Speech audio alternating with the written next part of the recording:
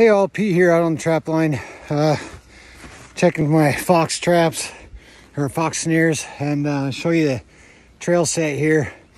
Uh, I got a snare on this this trail in the snow and uh, you can see the snare support sticking up right there with no snare on it and uh, that's because right back here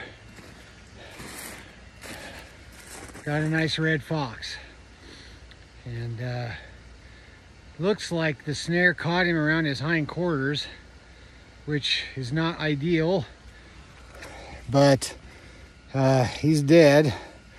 Um, so I'm gonna pick him up. These fox, you know, the recommendation for the snare size on a fox is is six to eight inches off the ground and an eight to 10 inch loop.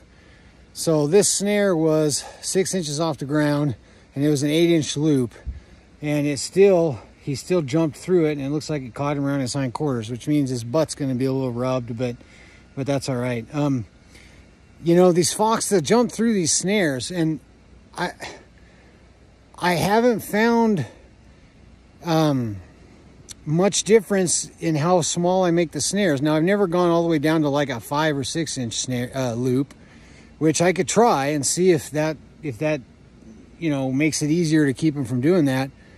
But even with these like seven inch loops that I use, a lot of times like they, they try to jump through and it catches them by their hind quarters. So um, it's still a catch, you know, but it's not like if I'm perfecting my art of snaring, I've got some more, I've got some more work to do to do that.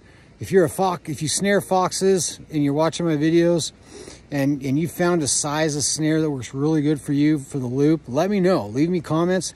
I'm not an expert. I'm not making these videos as an expert.